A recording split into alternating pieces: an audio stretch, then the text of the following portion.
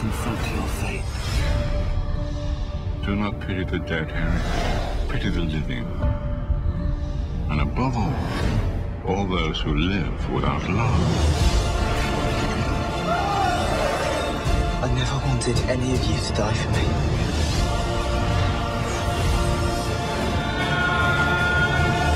Harry Potter and the Deathly Hallows Part 2. Only in cinemas.